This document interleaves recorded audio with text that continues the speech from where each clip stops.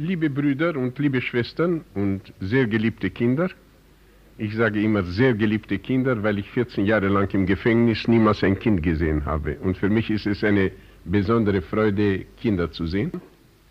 Aber sie dachte nicht an die Tochter. Sie dachte an das Ich und daher verweigerte ihr Jesus am Anfang auch die Gewährung ihrer Bitte. Wir wurden vor diese Frage hart gestellt in kommunistischen Gefängnissen, wo es ja viele Gefangene noch heute gibt. Wahrscheinlich einige Zehnertausende Gefangene gibt es heute. Zehntausend in Vietnam allein. Zehntausend in Mosambik, im kommunistischen Afrika. Niemand weiß, wie viele in Äthiopien, in Angola, in Rotchina. Dort ist ja Bruder Wang Mingdao seit 34 Jahren im Gefängnis. Wir lesen in den Zeitungen über die Liberalisierung in China. Er hat über diese Liberalisierung noch nichts erfahren. Er ist noch immer im Gefängnis. Und in Russland ist Bruder Michael Erschow seit 45 Jahren im Gefängnis. Also es gibt diese vielen Gefangenen. Und im Gefängnisleben, dort wird man sehr gedrängt zu einem Gebet aus der Tiefe, zu einem Gebet für das Ich wenn ich ein persönliches Erlebnis erzählen kann. Wir waren am Anfangs in Einzelzellen, in einem Gefängnis genannt Malmaison. Das war eines der fürchterlichsten Gefängnisse, die man sich vorstellen kann. Das fürchterliche dabei war, dass man von Hunden bewacht wurde, große Schäferhunde. Nahm man dich zum Bad, zur Toilette, zu einer Untersuchung oder übersiedelte man dich von einer Zelle in die andere. Überall auf den Korridoren diese großen Hunde, die dich bewachten. Diese Hunde waren sehr gut trainiert. Sie äh, sprangen an die Gurgel der Gefangenen, sie bissen niemals. Sie sprangen nur an die Gurgel. Aber stellt euch vor, wie es ist, wenn so ein Hund dir nur... Wir wussten ja nicht, dass er nicht beißen wird. Kannst einen Hund noch so viel trainieren und am Ende kann er doch beißen, nicht? Und wenn so ein Hund dir an die Gurgel springt, es war so, so fürchterlich.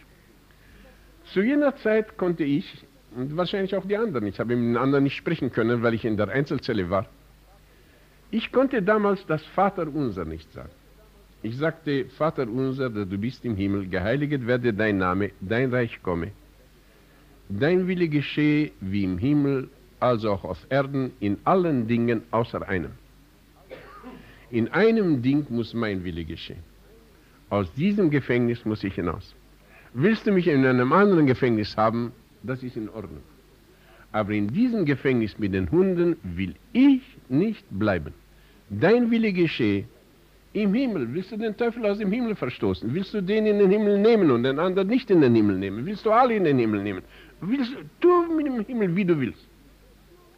Auf Erden soll geschehen, was du nur willst. Einer soll reich sein, einer soll arm sein, einer soll krank sein, einer soll gesund sein. Alles ist für mich in Ordnung.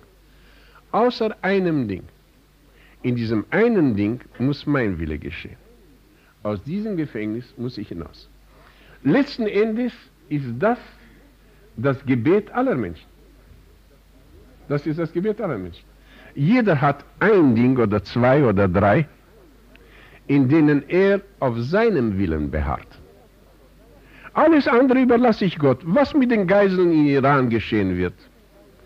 Es gibt einen großen Gott, Inshallah, sagen die Türken. Soll Gott doch sorgen für, die, für diese Geiseln? In Kambodscha hungern drei Millionen Menschen. Das überlasse ich Gott. Aber es gibt ein oder zwei Fragen, die mich bedrücken dass ich von Hunden bewacht werde oder dass es mit meinem Mann schlecht geht oder weiß ich was äh, noch für anderes. In diesem soll mein Wille geschehen. Und ich und die anderen, wir hatten einen harten Kampf, uns von diesem Punkt loszusagen. Wer betete, dass ich von diesem Gefängnis hinauskommen muss? Ich. Ja, aber wie kommt es, dass, ein, dass es ein solches Ich gab? Jesus hatte ja uns gelehrt, wenn einer mir nachfolgen will, soll er sich selbst verleugnen. Das Ich hätte ich ja schon lange aufgeben müssen. Es hätte so ein Ich ja nicht bestehen sollen. Und es ist immer der Mangel an, Selbst, an Selbstverleugnung. Es ist der Umstand, dass wir das Ich nicht aufgegeben haben, welches macht, dass selbst in sehr fromm erscheinenden Gebeten dieses Ich, dieses verdammte Ich, diese Wurzel jeder Sünde, das Ich, es erscheint wieder und wieder. Unser Heiland hat uns ein Gebet gelehrt. In diesem Gebet kommt das Wort Ich nicht vor. Das ist das Modell des Gebetes. Er ist nicht mein Vater, er ist unser Vater. Er ist auch Vater desjenigen, mit dem ich nicht einverstanden bin. Er ist auch Vater desjenigen, mit dem ich im Zwist bin. Er ist auch Vater desjenigen, mit dessen Bibelauslegung ich nicht einverstanden bin. Er ist unser Vater. Und dann sagen wir, gib uns, nicht gib mir, gib uns, das heißt auch den Kambodschanern und auch den Gefangenen im kommunistischen und im islamischen Lager und auch den amerikanischen Millionären und auch den amerikanischen Revolutionären und jedem Menschen, gib uns heute unser täglich Brot und nicht vergib mir meine Schuld. Ich habe wirklich große Schuld begangen. Ich habe in meinem Leben vielleicht gehurt und getötet und gelügt und Meinheit geleistet, aber ich bin ja nicht der Einzige, der gesündigt hat. Vergib uns unsere Schuld. Ich werde stark versucht und kann sehr schwer gegen diese Versuchung kämpfen. Aber ich sage nicht, führe mich nicht in Versuchung. Es gibt ja noch Millionen von Leuten, die unter denselben Umständen sind. Führe uns nicht in Versuchung. Und nicht erlöse mich vom Übel, vom Übel eines schlechten Mannes oder einer schlechten Frau oder schlechter Kinder oder vom Übel des Kommunismus oder einer falschen Religion. Es gibt ja hunderte von Millionen von Menschen, die in dieser Situation sind. Man muss dieses Bild des Ichs, das muss verschwinden. Und dieses Ich ist so groß. Ich habe mit großen protestantischen Predigern in Amerika gesprochen. Ich weiß nicht, wie es in Deutschland ist, aber in Amerika. Dort erscheinen die Zeitschriften von Billy Graham oder von Oral Roberts oder die großen amerikanischen Prediger. Die haben in ein oder derselben Zeitschrift drei, vier Mal äh, ihre eigene Fotografie. Die Fotografie von Billy Graham oder von Oral Roberts und so. Und ich habe diese großen Prediger gefragt, würdest du einmal ein Marienbild in deiner Zeitschrift veröffentlichen? Keinesfalls. Würdest du ein Jesusbild veröffentlichen? Auch nicht. Aber dein Bild, war diese arme Jungfrau Maria nicht doch wenigstens so heilig und so gut wie du? Und wir haben auf die Marienbilder verzichtet. Wir haben auf die Jesusbilder verzichtet. Und sie, wir, wir alle haben sie mit dem Bild des Ichs ersetzt. Und im Gebet ist das Zentrum das Ich, welches aus der Tiefe kommt, welches schon längst verschwunden sein sollte. Und unser Gesang ist Hosianna in den Tiefen. Ich habe das Ich, letzten Endes gefällt mir dieses Ich. Ich schätze dieses Ich sehr hoch. Wenn dieses Ich etwas will, dann muss es ja unbedingt auch richtig sein. Wenn ich es mir stark wünsche, also wer kann gescheitere Wünsche haben als das Ich? Und ich bete das Ich an. Es gibt noch ein anderes Hosianna, dieses Hosianna in der Bibel. Hosianna in der Höhe. Dort vergisst man das Ich zugunsten von anderen. Wir sind alle bereit, ist also schön für andere. Gebe ich äh, 10 Mark oder 100 Mark oder 1000 Mark Schein oder ich weiß nicht wie viel oder eine Mark. Das kann ich ihm geben. Aber er sollte das Ich nicht geben, welches gibt. Wie viel soll ich geben? Du sollst nichts geben. Es soll kein Ich geben, welches gibt. Das Ich sollte ja schon längst verleugnet sein. Hier ist alles Gott, hier gehört alles Gott und Gott beschließt aus seinem eigenen Budget, wie viel er für diesen Zweck geben will, wie viel er für einen anderen Zweck oder wie, was er zurückbehalten will für das Gut dieser Familie oder dieser Kinder und so weiter. Wir müssen zu dieser Verleugnung des Ichs gelangen und äh, an die andere denken. In Russland werden fortwährend unsere Brüder verhaftet, vor kurzem Jakunin und Velikanova. Nicht nur, dass sie verhaftet werden, irgendwie, wir gehören zum selben Leib. Wir glauben an eine heilige Kirche. Wenn ein Glied leidet, dann leiden alle anderen auch.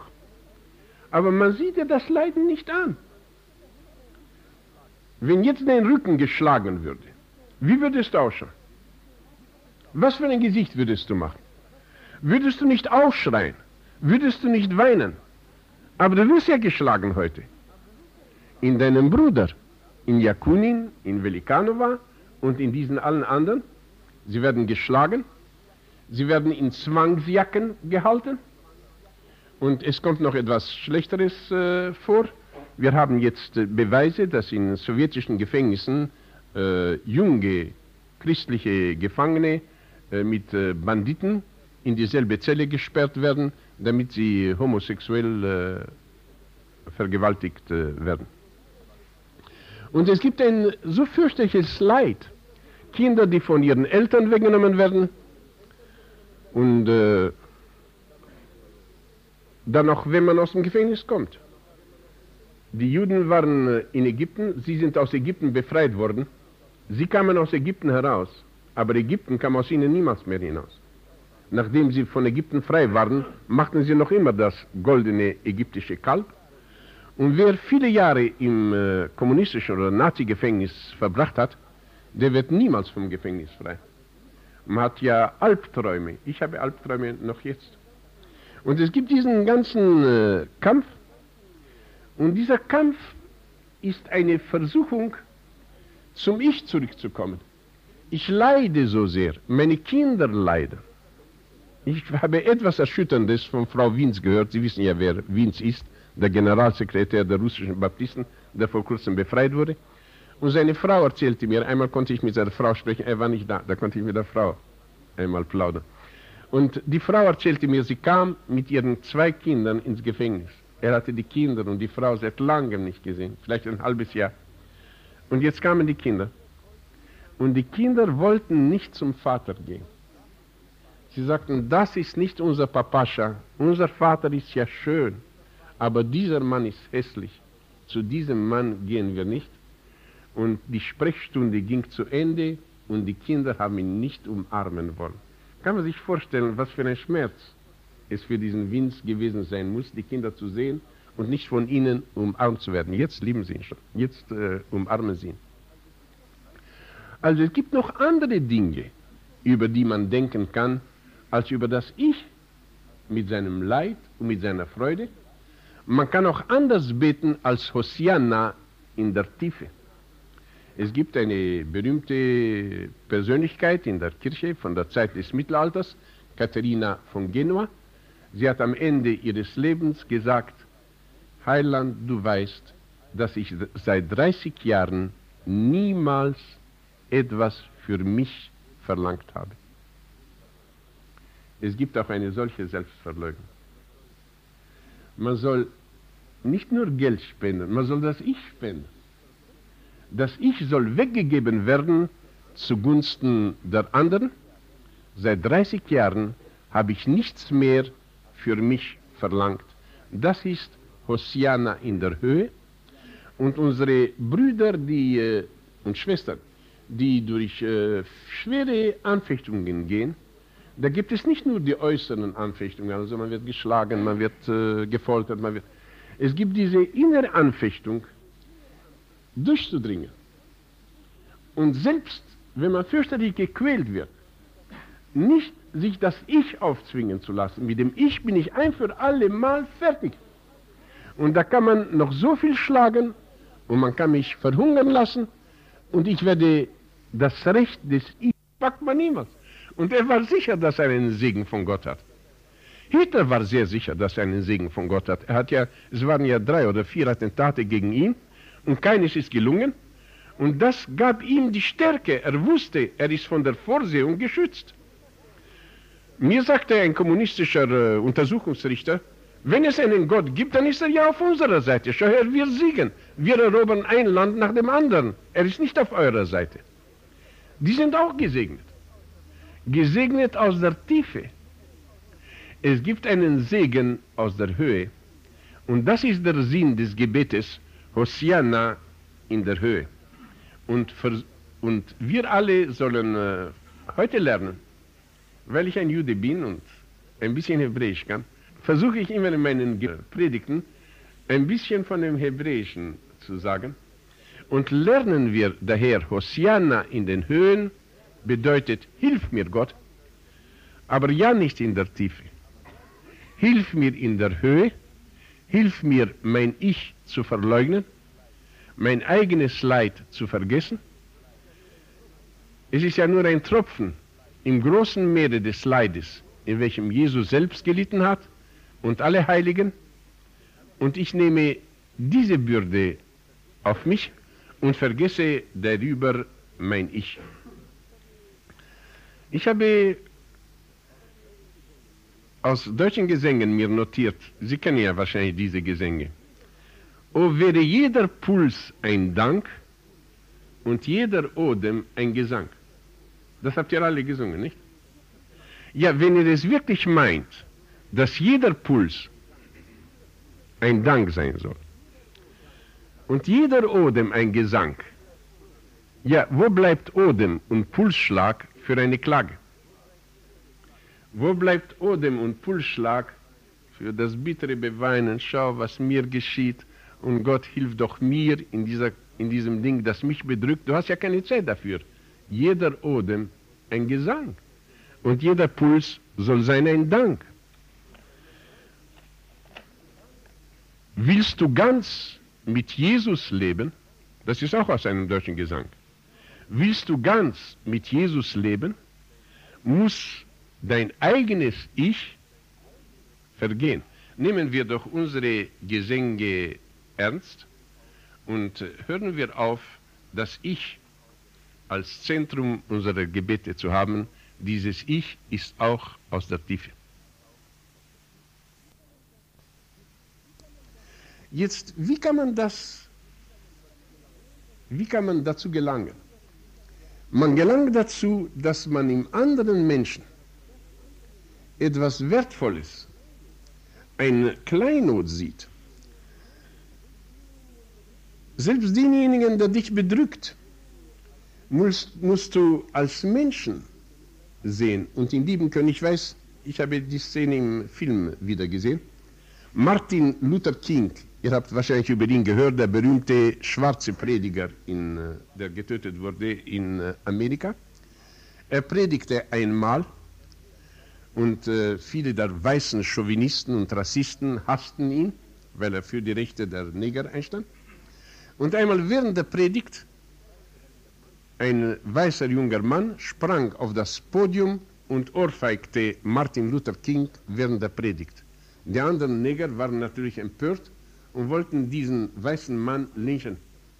Und Martin Luther King stellte sich schützend vor ihn und sagte, warte doch ein bisschen, wenn ihr weiß gewesen wärt und wenn man euch gelehrt hätte, von klein auf, dieser schmutzige Nigger, wenn ihr das mit eurer Muttermilch gesogen hättet und so erzogen geworden wäret, dann werdet ihr ja auch wie dieser weiße junge Mann. Wir sollen ihn verstehen, wir sollen ihn lieben. Er ließ es nicht einmal zu, dass er irgendeine Polizeistrafe bekommt. Er vergab ihn. Man kann auf das Ich verzichten zugunsten des anderen und selbst zugunsten desjenigen, der dich beleidigt und der dich ohrfeigt. Darf ich wieder einmal eine Episode aus meinem äh, Gefängnisleben erzählen? Nicht, dass ich mich hervorheben will, aber irgendwie kenne ich alles, was mit mir geschieht, aus der ersten Quelle. Die anderen Sachen sind mir erzählt worden. Und daher, um sicher zu sein, erzähle ich aus meinem, meiner Erfahrung, aber es ist genau dieselbe Erfahrung, welche andere Christen in kommunistischen Gefängnissen gemacht haben. Ich wurde nach Jahren Einzelzelle in eine große Zelle gebracht. Wir waren dort an die 100 Gefangenen. Und es gibt immer einen Zellenältesten, der dir den Platz zuteilt, wo du schlafen wirst. Und er sagte mir dort und dort, sie teilen das Bett mit diesem Mann. Ich stellte mich ihm vor, Wurmbrand. Wurmbrand scheint ja so ein guter deutscher Name zu sein, so wie Siegfried, nicht wahr? Ich sagte, mein Name ist Wurmbrand. Und damals schaute ich auch ein bisschen deutsch aus. Ich hatte blondes Haar. Also, was sind Sie? fragte er mich. Evangelischer Pfarrer, also ein evangelischer Pfarrer, der Wurmbrand heißt, der kann ja nichts anderes sein als ein Deutscher. Und äh, ich habe ihn gefragt, wie heißen Sie? Er hat mir seinen Namen gesagt. Ich fragte ihn, äh, zu wie viel sind Sie verurteilt? Sagt er, lebenslänglich. Ich fragte ihn, was haben Sie getan? Er sagte, ich habe 1432 Juden getötet. Er war ein Kriegsverbrecher. Ich sagte ihm, Sie müssen ja fürchterlich leiden. Sie schlafen wahrscheinlich während der Nacht nicht bereuend, was geschehen ist. Sagt er, ich schlafe wirklich nächtelang nicht. Es tut mir leid, dass ich nicht mehr Juden getötet habe. Er war ein Mensch vollen Hasses. Der Hass war noch wütender, als er erfuhr, dass ich selbst ein Jude war. Und jetzt waren wir mehrere Gläubige in derselben Zelle wie er. Wir wuschen uns dort sehr, sehr selten. Einmal habe ich mich drei Jahre lang nicht gewaschen, das würde einigen der, Jungen hier gefallen. Also man wusch sich sehr selten. Und wenn einer sich schon wusch, wenn er dazu kam, sich zu waschen, dann blieb das Wasser im Becken sehr, sehr schmutzig hinter ihm. Und wenn dieser Mann sich wusch, gingen die Christen und wuschen sich hinter ihm mit demselben schmutzigen Wasser, um sich irgendwie mit ihm zu identifizieren, um ihr Ich zu brechen, um sich ja zu vergewissern, ich bin nicht etwas Besseres als dieser Mensch. Ich habe Gnade erfahren. Wäre Gnade nicht gewesen, hätte ich auch ebenso sein können wie er. Er ist auch ein Mensch. Ein Mensch, den Gott innig liebt. Wenn er ihn nicht geliebt hätte, hätte er ihn ja nicht geschaffen. Ein Mensch, für den Jesus am Kreuz gestorben ist. Und es ist ja nicht nur der Mensch, er hat einen Schutzengel. Und der Engel möchte ihn bekehrt sehen. Und wie schön wäre es im Himmel, wenn dieser nach so viel Mord doch in den Himmel kommen würde. Und er wurde so geliebt von Menschen, die das Ich vergessen hatten, die ein Hosianna in der Höhe sangen und nicht ein Hosianna in der Tiefe. In der Tiefe hätten wir ja beten können, krepieren soll er. Nach all dem, was er getan hat. Und das wäre auch ein Gebet gewesen. Es gibt ja viele solche Gebete. Während des Krieges wurde ja so gebetet, der andere soll krepieren. Das war ja das Gebet. Man hat es nicht so ausgedrückt, man hat es mit heiligen Worten gesagt. Aber der Franzose soll krepieren, der Russe soll krepieren und er antwortete mit einem anderen Gebet. Nein, der Deutsche soll krepieren. Nicht wahr? Es gibt ja auch solche Gebete, Gebete in der Tiefe. Und die Christen beteten nicht der Plage loszuwerden. Ich soll der Plage loswerden, mit einem solchen Menschen im Bett zu schlafen mit einem solchen Menschen zusammen sein. Aber er soll der Plage loswerden, vor Gott mit so viel Sünde zu erscheinen. Und dieser Mensch hat sich wirklich bekehrt. Es gab ein Hosiana in der Höhe. Und nachdem er sich bekehrt hat, wir in Rumänien und in Russland, die Brüder haben die gewohnt, es gibt auch hier Brüder, die ein bisschen in diese Länder fahren und wissen, da wird man viel geküsst. Die Brüder dort küssen einander. Es gibt diesen heiligen Kuss, ich will ja, es sind andere Gebräuche in Deutschland, aber bei uns gibt es nicht ohne Kuss, ohne den heiligen Kuss.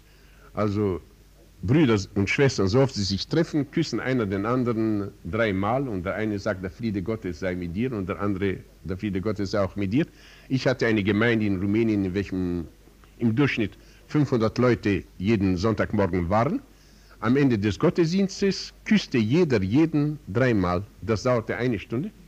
Ich bekam jeden, wir hatten keine Autos vor der Tür. Es war niemand bei. Wir hatten nicht einmal, ich habe in meinem Leben nicht einmal ein Fahrrad gehabt. Wir hatten das nicht. Wozu brauche ich das? Ich habe Zeit, meine Brüder zu küssen. Warum, warum soll das Auto draußen warten? Und äh, wir küssen einander dreimal und ich bekam jeden Sonntag 1500 Küsse. Das, wenn äh, es eine durchschnittliche Predigt war. Gelang es mir manchmal, eine Predigt zu halten, die besonders gut betrachtet wurde, dann bekam ich ein Supplement von Küssen und dann schmerzten die Kiefern äh, danach. Nun, ich will äh, keine russischen Gebräuche in Deutschland einführen. Die Wichtigkeit des heiligen Kusses will ich euch nur sagen. Tertullian, einer der großen Kirchenlehrer, aus dem dritten Jahrhundert, hat gesagt, jeder Gottesdienst, der ohne heiligen Kuss endet, ist von Gott nicht angenommen. Jetzt, was ist die Bedeutung dieses heiligen Kusses? Ich habe einmal einen, mit einem jungen Menschen zu Tisch gesessen. Er aß Speck. Und er sagte mir, ich liebe Speck mit Knoblauch. Aber ich gehe jetzt zu meiner Braut. Und dort werde ich Küsse bekommen. Und daher kann ich kein Knoblauch essen. Und Christen in Russland wissen, wenn ich zum Gottesdienst gehe, werde ich von 500 Heiligen geküsst. Da darf ich kein Knoblauch essen. Dieser Mund wird von Heiligen geküsst werden. Da darf kein schlechtes Wort aus dem Mund, kein lügnerisches Wort, kein meineidisches Wort, kein Wort des Streites, kein Wort des Hasses. Man hielt den Mund rein für die Küsse, die man von den Brüdern bekommen wird. Jetzt könnte es auch ohne Küsse tun. Aber irgendwie soll man Knoblauch nicht essen, wenn man weiß, man kommt mit Brüdern zusammen, selbst wenn man sich nicht auf den Mund küsst. Und jetzt zurückzukommen um diesen Mann. Also dieser Mann hat sich bekehrt, der Mörder, und dann küsste er die Brüder und er küsste mich und er sagte mir, ich hatte mir nie vorgestellt in meinem Leben, dass ich einen Juden küssen werde, aber sie bekommen einen Extrakuss. Es gibt die Möglichkeit, nicht in den Tiefen zu bleiben. Es gibt ein Hosianna in den Höhen. Man kann erhöht werden zu ganz anderen Gebieten als diejenigen, die man bisher gekannt hat. Ich will euch nur äh, ganz kurz erzählen, einige von euch äh, wissen es ja vielleicht, wie ich zum Glauben kam. Ich bin Jude und in meinem Elternhaus habe ich nie ein Wort über äh, Jesus gehört, weder ein gutes noch ein schlechtes Wort. Aber zwei Ereignisse kamen in meinem Leben vor, die mich zu Jesus brachten. Alles kann man ja in Büchern nicht beschreiben. Ich habe mehrere Bücher geschrieben. Alles habe ich dort nicht beschrieben. Die Bücher werden, würden zu lang werden. Äh, das erste Ereignis war im Alter von sieben oder acht Jahren. Ich kam von der Schule mit einem Kameraden. Er hielt vor einer Kirche. Damals hatte ich keine Ahnung von einem Unterschied zwischen einer katholischen und einer Pfingsterkirche oder Mormonenkirche. Die waren für mich alle gleich. Er hielt vor einer Kirche. Jetzt weiß ich, es war eine katholische. Und er sagte, warte auf mich, mein Vater hat mir gesagt, ich soll dem Priester etwas ausrichten. Ich, sage, ich sagte ihm, ich gehe mit dir hinein. Und so kam ich zum ersten Mal in eine Kirche. Es war eine katholische Kirche. Ich war sehr, sehr beeindruckt. Ich sah einen Gekreuzigten. Meine Vernunft sagt mir, ich konnte nicht einen Gekreuzigten sehen. Ich sah wahrscheinlich ein Kruzifix. Aber was mir im Gedächtnis geblieben ist, war, dass ich einen Gekreuzigten gesehen habe. Und ich konnte nicht verstehen, warum man diesen Mann so stark geplagt hat. Man sah äh, von den Wunden das Blut, man sah das durchstochene Herz, man sah den Kopf mit der Dornenkrone. Und ich hatte ein Gefühl der, des Mitleides und der Liebe für diesen Mann. Ich sah eine junge Dame, die mit Liebe auf mich schaute. Wahrscheinlich war es eine Statue oder ein Bild der Maria. Und dann kam, der Priester hatte schnell mit diesem anderen Burschen beendet, und dann kam er zu mir und streichelte mich auf den Haaren, was sehr viel für mich bedeutet. Ich war ein ungestreicheltes Kind. Ich war von klein auf ein Waisenkind und ich wurde nicht gestreichelt. Ich war ein sehr, sehr armes Kind. In meiner ganzen Kindheit habe ich nur anderthalb Kuchen gegessen. Einen hatte ich gestohlen, einen halben habe ich auf korrekter Weise bekommen, aber ich kann sie noch jetzt vor mir sehen. Ich erinnere mich an diese anderthalb Kuchen. Da ist ein Bäcker von mir, der könnte jetzt kompensieren, was ich damals nicht gegessen habe. Schokolade habe ich in meiner ganzen Jugend nicht gegessen. Wenn reichere Kinder Schokolade aßen, legte ich das Papier hinter ihnen. Ich war der schlecht angezogenste Bursche in der ganzen Schule und daher wurde ich verlacht. Ich wurde immer geschlagen, weil ich Jude war und in Osteuropa schlägt man Juden. Ich wurde geschlagen, ich wusste nicht, was Jude bedeutet, aber ich wurde geschlagen. Und ich war nicht gewohnt, dass jemand mich streichelt. Er äh, berührte meinen Kopf und streichelte ihn. Kinder wurden zu Jesus gebracht, damit er sie berührt. Wir bringen Kinder zur Sonntagsschule, damit man sie lehrt. Aber zu Jesus wurden sie gebracht, damit er sie berührt. Seine Berührung lehrte. Es war so viel Liebe in dieser Berührung. Das ist ja, was die Pfarrerweihe sein sollte. Berührung seitens eines, der eine heilige Hand hat, eine geheiligte Hand. Jetzt ist es nicht mehr, jetzt ist es nicht mehr so. Ich erinnere mich an seine Berührung, die war so sanft und so liebend und so tief. Über 60 Jahre sind vergangen, ich kann sie jetzt noch spüren. Und er fragte mich, kleiner Kerl, was kann ich für dich tun? Ich sagte nichts, ich bin nur mit dem anderen Burschen gekommen. Und er sagte mir, ich aber bin ein Jünger Jesu. Und er hat uns gelehrt, niemanden je an uns vorbeigehen zu lassen, ohne ihm ein wenig Gutes zu tun. Es ist Sommer, es ist draußen sehr heiß, kann ich dir ein Glas kalten Wassers bringen? Und er brachte mir ein Glas kalten Wassers. Und Jesus verwandelte dieses Wasser in Wein. Ich ging betrunken aus dieser Kirche hinaus. Zum ersten Mal hatte ich gehört, dass es ein solches, ein solches geheimnisvolles Wesen gibt. Der Name sagte mir nichts. Aber der Gelehrte hat, dass man niemanden, niemanden, nicht einmal ein jüdisches, schlecht angezogenes, hässliches und schwaches Waisenkind an sich vorbeigehen lassen soll. Ich habe kein Geld für das Kind. Ich habe keine Schokolade für das Kind aber ich kann ihn ja streicheln und ich kann ihm ein Glas kalten Wassers geben. Wenn es jetzt die Hilfsaktion Märtyrerkirche in 50 Ländern gibt und mit Millionen die Untergrundkirche geholfen wurde, hier im Saal ist jemand, der viele, viele, über 20.000 Bibeln bereits hineingeschmuggelt hat, der ist hier im Saal. Und solche haben wir viel. Und wenn all das existiert und Familien von Märtyrern unterstützt wurden mit großen Summen Geld und wenn wir jetzt für Vietnamesen tun können und wenn wir jetzt über das Radio das Wort Gottes verkünden können und wenn es judenchristliche Gemeinden jetzt in Jerusalem, in Tel Aviv und in Haifa gibt, die kommen alle davon, dass ein Jünger Jesu ein Kind gestreichelt hat und ihm gesagt hat, ich kann niemanden an mich vorbeigehen lassen, ohne ihm ein bisschen Gutes zu tun. Ein Glas Wasser hat diesen Effekt gehabt. Der Priester ist wahrscheinlich gestorben und sich gesagt, ich habe meinem Leben nichts Gutes getan. Jetzt kann er es erfahren. Sein Name war Giuseppe Cavane. Und dann meine zweite Begegnung, die mich in diese Höhe gebracht hat. Hosiana in der Höhe. Wir sprechen mit Leuten und lassen sie in der Tiefe. Oder wir sprechen manchmal mit Leuten und ziehen sie in die Tiefe. Und ich bin mit Menschen begegnet, die mich in die Höhe hinaufgeschwungen haben. Das war einer. Aber es war ein Kind, ich war ein Kind und Kinder vergessen ja schnell. Dann später habe ich mich wieder an die Sache erinnert.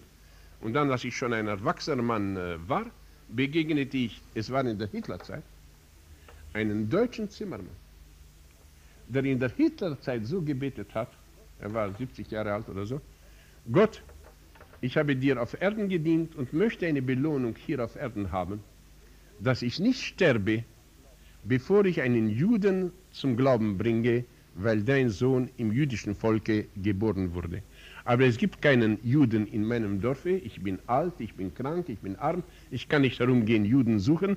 Bringe du einen Juden in mein Dorf und ich werde mein Bestes tun, ihn zum Glauben zu bringen. Jetzt bin ich eine besondere Art von Pfarrer. Ich bin ein Pfarrer, der glaubt, dass Gott niemals ein Gebet erfüllt. Das gibt es nicht, dass Gott ein Gebet erfüllt. Verlangst du von ihm einen Juden, gibt er dir zwei. Es ist ausgeschlossen, von Gott nur so viel zu bekommen, wie viel du von ihm verlangst. Er gibt dir immer mehr oder er gibt dir besser. Es kam nicht ein Jude in dieses Dorf. Ich kam mit meiner Frau und er brachte uns zum Herrn ein Mensch im Alter von 70 Jahren, ein ungebildeter Zimmermann in Kronstadt, neben Kronstadt. Und der hat mich und meine Frau zur Höhe emporgeschwungen. Sollen wir doch darauf aufmerksam sein, wenn wir einem Menschen begegnen, er mag nicht ein Mörder sein oder ein Dieb, Er ist aber immer schlecht genug. Er ist ein Ich. Und dieses Ich-Sein ist schlecht genug. Und äh, dieses Ich soll doch verleugnet werden. Soll doch meine Begegnung mit ihm nicht prosaisch sein. Ich kann hier nicht vieles lernen, ich kann nicht viel Philosophie, ich kann auch die Bibel nicht viel, aber ein Glas Wasser kann ich geben. Ein Wort kann ich geben. Und dieses äh, Wort kann ihn aus der Tiefe ziehen. Lasse, belasse die Menschen nicht in der Tiefe, in welche sie sind, und dränge sie nicht in die Tiefe. Manchmal tun wir auch dies durch unsere Sünden, sondern erheben wir sie, Hosianna, in der Höhe. Im Gebet soll das Gebet und der Beter ja eins werden. Wir sollen uns erhöhen. Was, was bedeutet dieses Einswerden des Beters und des Gebetes? Ihr kennt ja den Vers in, Johannes 10, äh, 34. Jesus sagt, ihr seid Götter. Ja, zu wem betet ein Gott? Jesus sagt, ihr seid, äh, ihr seid äh, Götter. Und in Zacharias, das ist ein weniger bekannter Vers, in Zacharias Kapitel 12, Vers 8, zu der Zeit wird der Herr beschirmen die Bürger zu Jerusalem und es wird geschehen, dass welcher schwach sein wird unter ihnen zu der Zeit, wird sein wie David. Und das Haus David wird sein wie Gott. Ja, zu wem betet ein Gott? Dort ist der Beter und das Gebet wird eins. Es ist ein Hosiana in der Höhe. Man hat sich emporgeschwungen, wirklich zur äh, Gottheit. Und äh, das ist eigentlich, was ich euch zu sagen hatte. Das ist das äh, Evangelium, das wir äh, verkündigen in äh, kommunistischen Ländern, die äh, Mission Hilfsaktion Mehrtätig. Wir haben, es ist sehr schwer, in kommunistischen Ländern zu verkündigen. Jetzt muss die Bibel auf Chinesisch wieder übersetzt werden. Die alten Übersetzungen sind nicht mehr gut. Erstens einmal haben sich die Schriftzeichen ganz verändert. Sie haben sich jetzt wieder verändert, also zum zweiten Mal. Es wurde bereits in neuen Schriftzeichen gedruckt, die sind auch nicht mehr gut. Jetzt kommen andere Schriftzeichen. Aber die Worte haben in den letzten 30 Jahren in China einen neuen Sinn bekommen. Wir können in der neuen Bibelübersetzung nicht sagen, Gott ist gut. Auch in unserer ganzen Literatur, auch in den Radiosendungen können wir nicht sagen, Gott ist gut, weil seit 30 Jahren in China das Wort gut nur auf Mao Zedong und auf die Kommunisten angewandt, angewandt wird. Und die junge Generation weiß, gut bedeutet Kommunist. Sagst du einem jungen Chinesen, halb China ist unter 15 Jahren. Und sagst du einem jungen Chinesen, Gott ist gut, versteht er darunter, Gott ist ein Kommunist. Also ihr, euch, ihr stellt euch vor, was für Schwierigkeiten es da gibt. Man muss sich ganz äh, umändern.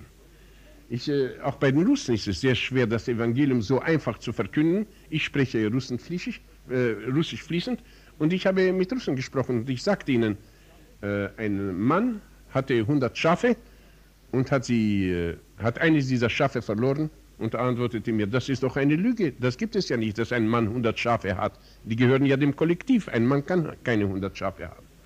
Ich sagte ihm, ein Mann hatte einen Weinberg und hatte diesen Weinberg verpachtet. Und dann, als er die Pacht verlangte, haben die Arbeiter rebelliert. Sehr gut haben sie getan. Der war ja ein Kapitalist. Als ich gesagt hatte, Jesus ist König, ja, das haben wir in der Schule gelernt. Alle Könige waren schlechte Kerle. Und da muss man, ich habe bereits ein Evangelium in marxistischer Sprache geschrieben. Es ist eine sehr, sehr schwere Arbeit. Wir bitten Sie, hinter dieser Arbeit mit eurem äh, Gebet zu stehen. Man braucht sehr viel Weisheit und in dieser, dieser Untergrundarbeit, in der Untergrundarbeit muss man alles wissen, was ein Christ wissen muss, muss man alles wissen, was ein Polizist wissen muss, weil wir es ja mit Polizisten zu tun haben. Und man muss alles wissen, was ein Schmuggler und ein Dieb tun will. Ich, ich verbringe Stunden, jede Woche, Detektivromane lesend, Kriminalromane, ja, um, um neue Methoden ausfindig zu machen. Kriminalromane, Drogenschmuggel, Juwelenschmuggel, jedes dieser Romane gibt mir irgendeinen neuen Gedanken. Irgendein Polizeiroman, dann finde ich, ja, wie finden die Polizisten die Diebe aus? Wie, also, welche Fehler kann man da vermeiden? Es ist eine sehr, sehr schwere Arbeit. Und es ist gelungen. Ein einziger Mann hat 20.000 Bibeln hineingebracht. In, äh, aus England bekam ich einmal einen Brief aus dem Gefängnis.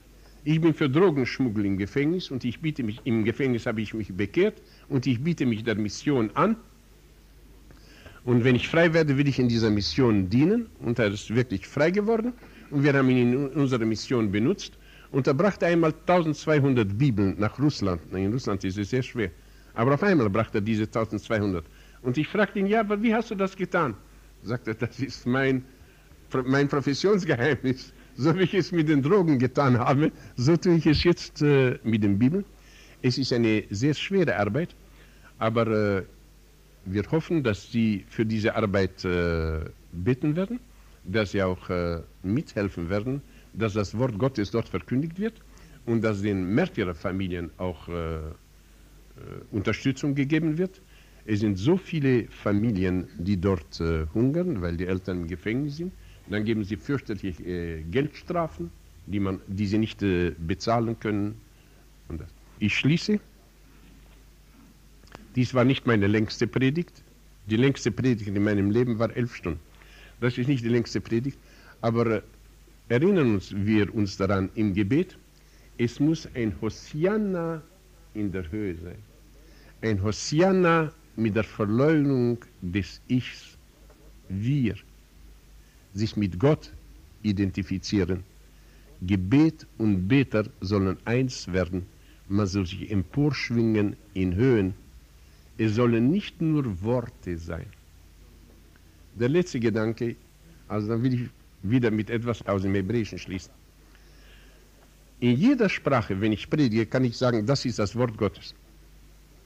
Wenn ich Hebräisch predige, kann ich nicht sagen, das ist das Wort Gottes, weil die Hebräer das Wort Wort nicht haben. Das Wort Gottes kam durch die Hebräer. Hier gibt es keine Zeile, die nicht von einem Juden geschrieben ist. Aber ein Jude kann nicht sagen, dass das das Wort Gottes ist, weil es auf Jüdisch, also auf Hebräisch, das Wort Wort nicht gibt. Für Wort sagen die Hebräer Davar und Davar bedeutet Ding, das reelle Ding. Al-Davar Haseh, wenn du sagst, Davar, das ist ein Ding. Wenn du das Prolog zum Evangelium von Johannes auf Hebräisch liest, dann fängt es so an. Am Anfang war das Davar, das reelle Ding. Und das reelle Ding, das da war, war mit Gott. Und Gott war das reelle Ding. Wir glauben nicht an Worte, die nur Worte sind. Das ist Klatsch. Nur Worte, die da wahr sind, sind wirklich Worte. Ein Wort soll ein reelles Ding sein. Man fragt sich, warum sind Juden so gute Kaufleute? Weil sie an reelle Dinge glauben, nicht an Worte. Sie glauben nicht an ein Versprechen, ich werde dir Geld geben. Sie glauben nur an Kassa. Sie glauben nur an die Realität. Das ist der gute Kaufmann. Das gehört zum Hebräischen, sich nicht nur an Worte zu halten. Worte können so betrügen, auch unsere eigenen Worte können uns betrügen und können uns in der Tiefe halten. Ein Hosiana in der Höhe ist ein Hosiana, das die Sphäre der Wörter übersteigt. Man kommt mit seiner ganzen Realität vor dem reellen Gott. Ich weiß nicht, ob ich, was ich zu sagen hatte, gut erklärt habe. Es fällt mir auch schwer, auf Deutsch zu sprechen, es ist nicht meine Sprache. Vielleicht habe ich nicht gut erklärt, aber einen Prediger soll man nicht nur anhören, man soll ihn auch anschauen und man soll auf sein Herz schauen, was er dir mitteilen will und dir nicht mitteilen kann. Und wenn ihr auf das Herz schaut, dann wisst ihr, ich liebe euch vom ganzen Herzen. Und ich will, dass euer Gebet sein soll. Und mein Gebet auch. Hosianna in der Höhe.